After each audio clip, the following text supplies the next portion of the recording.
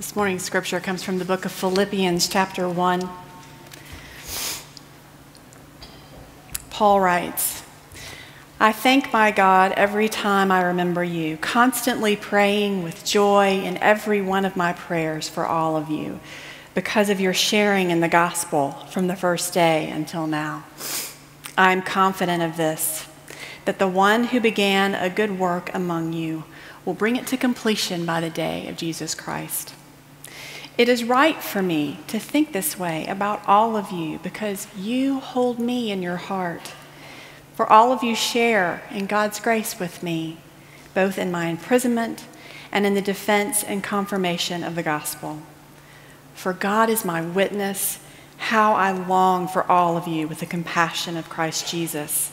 And this is my prayer that your love may overflow more and more with knowledge and full insight to help you to determine what is best, so that in the day of Christ you may be pure and blameless, having produced the harvest of righteousness that comes through Jesus Christ for the glory and praise of God. This is the word of God for us, the people of God. Thanks be to God.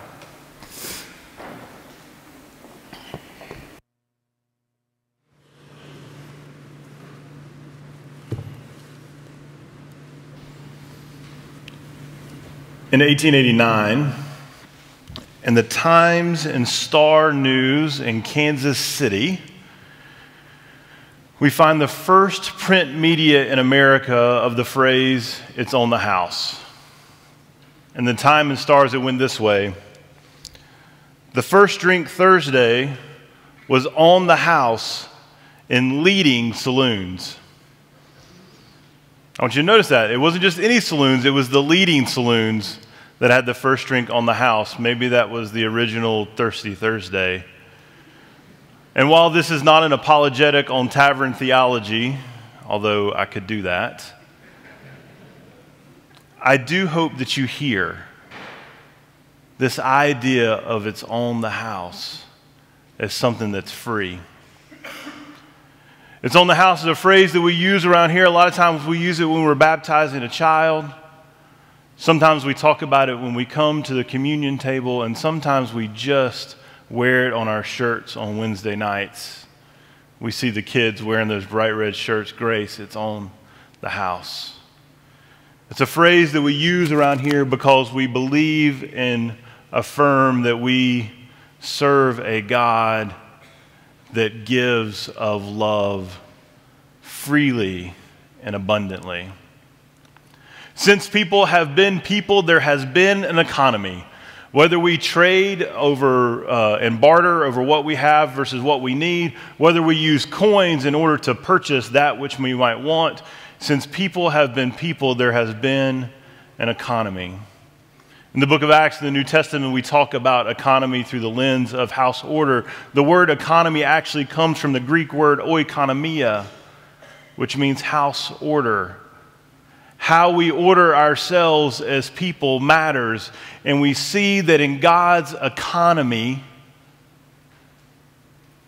grace, unmerited favor, the love of God is given freely. There is no barter system in mind, there is no transaction necessary, there is no coin being given. In God's world, grace is on the house. In God's economy, the way the house is ordered is that the ordered is that the first gift, the first currency is given to each of us freely, and we are called by the love of God to share that with others.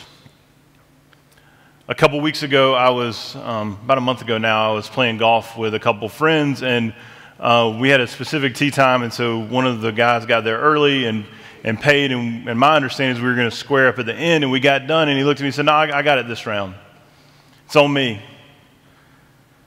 I wasn't real happy about that. I wanted to be able to pay for what I had used.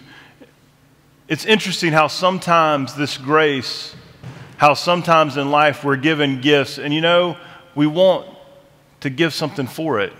We want to feel like we earned it, like we paid for it, but the gift of God is a free gift given that we can't earn, that we don't need to trade for. It's a gift that's given out of love and hope. Last week, uh, after Larry preached, he preached about a, from a prayer in John. I, I, got intrigued by prayers that are in the Bible. Um, and and I, I hadn't thought about this in a while, and I looked at this prayer in Philippians, and it's interesting, right? So, this book, Paul's writing to the, the church in Philippi. Uh, Paul is in prison. Someone who had once uh, imprisoned people for their faith is now imprisoned for his faith and his standing up for the faith. And while he's in prison, he does not look at that time as idle time, rather, uses it to reach out and to share the love of God with friends that he had made on his missionary journeys. And he writes this letter. He says, I remember you constantly praying with joy for everyone in my heart. And he says this about midway through. He says, And my prayer for you is that your love may overflow more and more. I hope that you hear that prayer not only as a prayer from Paul, from the people in Philippi, but a prayer for you this day. It's our prayer that love within you may overflow more and more. In his book, uh, The Rebirthing of God, John Philip Newell uh, starts his book this way. He says this The first thing that is said about humanity in the Hebrew scriptures is that we are made in the image and likeness of God. Everything else written about us in our scriptural inheritance needs to be read in light of that foundational truth that within us is the likeness of the one from whom we have come. Or, as Julian of Norwich puts it, we are made of God.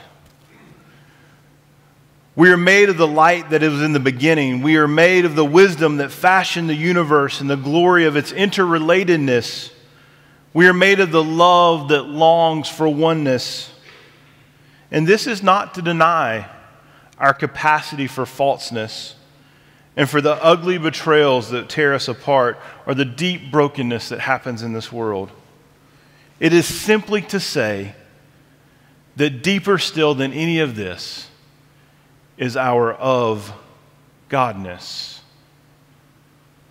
Newell reminds us that in our essence, we are created in the image of a relational God. In our essence, we are created in the image of a God that brings together us in wholeness. In the image of God, we are created so that we can both receive and share a love, a grace that is on the house. Now, Newell also reminds us that this isn't some kind of touchy feely thing, that life is hard. These beautiful flowers remind us of a celebration of life yesterday, for one that was taken too early. We have experienced in our own lives the, lives the loss of loved ones. We've experienced a brokenness of divorce. We've experienced the heartache of a child that's gone astray. We've experienced brokenness that we have both caused ourselves and has simply happened because at times the world is broken. And in those experiences, we also hear that there is a God that brings hope. There is a gift that is on the house. There is a grace that pervades even the darkest places. There is a love that conquers even the most difficult days. It doesn't mean they're not difficult, it simply means that we have hope. It simply means that God is present with us. So, in the Wesleyan tradition, John Wesley talked about grace in three ways. I had the opportunity to hang out with our newcomers uh, over this past month, and one of the things that I share with every group of folks that comes through our doors and asks about Methodism is that the thing for me that we talk about that might make us a little unique is the way that John Wesley talked about grace. And if you've been Methodist for any time, you've heard somebody talk about this. But John Wesley liked to talk about grace in three ways. He talked about prevenient grace. Prevenient is a big word that means grace that's everywhere and free to all people. Prevenient grace is like the air that we breathe. It's like the wind that blows through the trees. It's like the sun that shines down on our face. Prevenient grace is the grace that is everywhere. It is the love of God that is for all people, no matter where they come from or where they've been. It's the grace of God that comes to us no matter what we've done or who we've hurt. It's the grace of God that comes to us no matter how deep the despair is. It is the grace of God that comes in moments of joy and we don't even realize what we're feeling, but we know there's something going on. That's prevenient grace. It's grace that just is. It is in the world because God is in the world. Then you have justifying grace. Justifying grace for Wesley uh, could be determined or, or, talked about as a moment, but it also could be talked about as a way of life. It could be talked about as a singular time in our lives, but many or many times over and over. Justifying grace is the grace that brings wholeness in our broken world.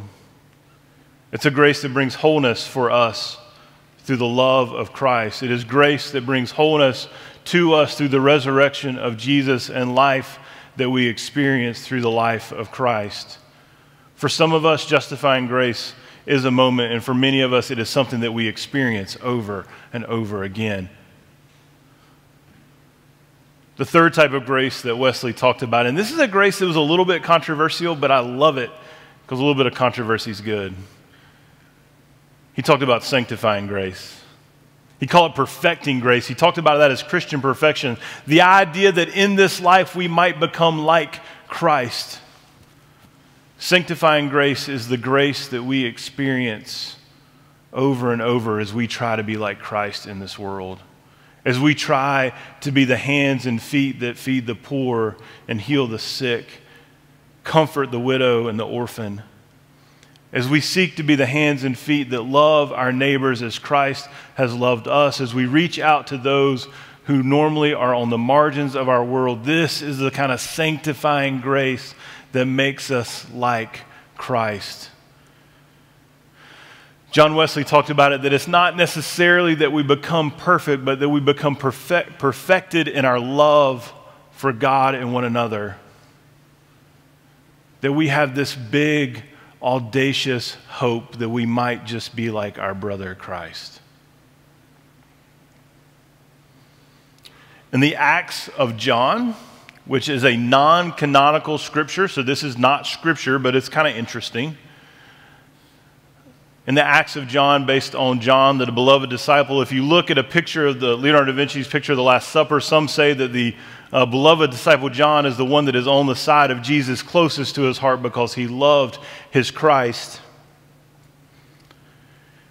And we're told in the Acts of John that after the Last Supper, Jesus had given the, the bread and the wine and talked about his body and his blood, the love that he had for his disciples and for all the world, and his pouring out of himself for us. We're told in the Acts of John that afterwards and after the supper, there was a Hebrew circle dance.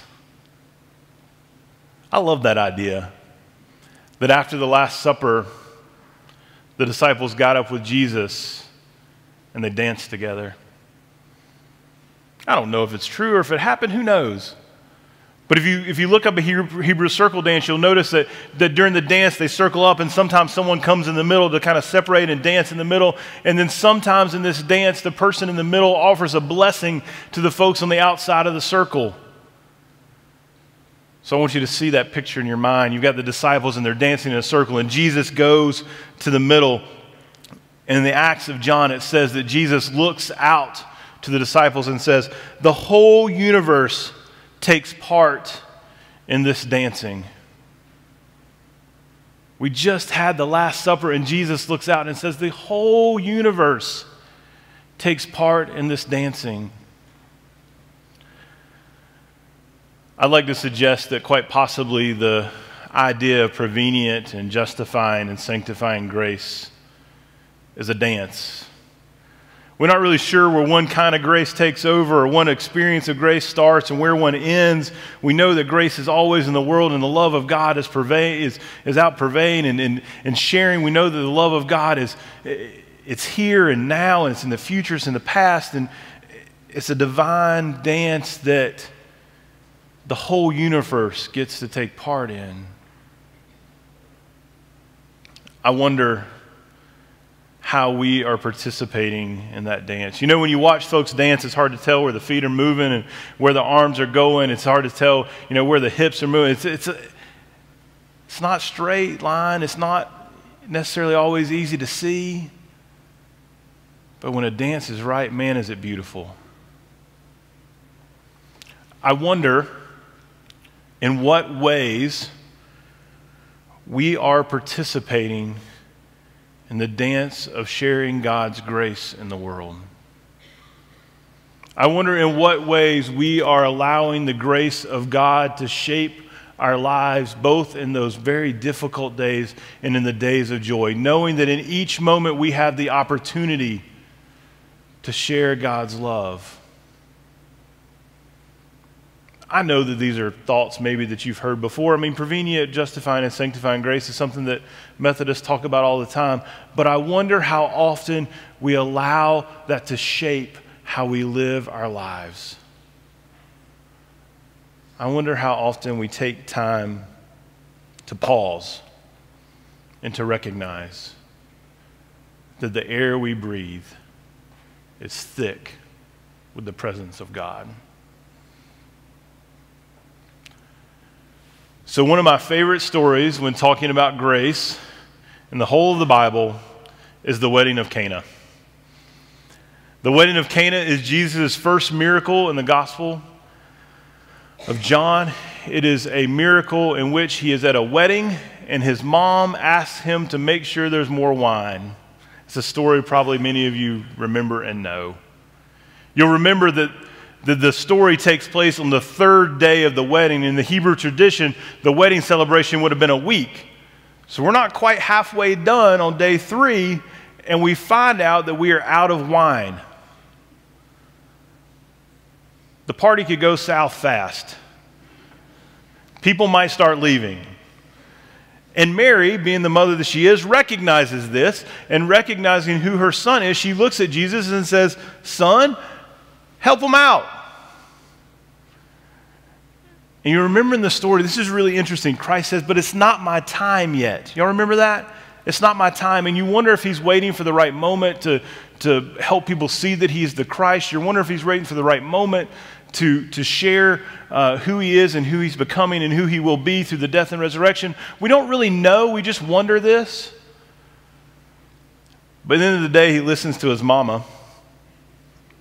And we're told that the stewards go get six, six vats to fill with water. And these vats, I've seen them in Cana, they're, they're huge. Like you can't even put your arms around them. They're made and they're hollowed out of stone. It would have taken probably five or six folks to carry them around.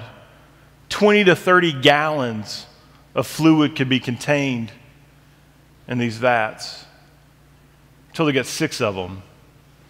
And Jesus tells the, the stewards to fill them with water and then take them to the head steward to taste it. And we're told that when he tastes the wine, it's not box wine. It's the good stuff. It, the Willamette Valley, it came from France. We don't know.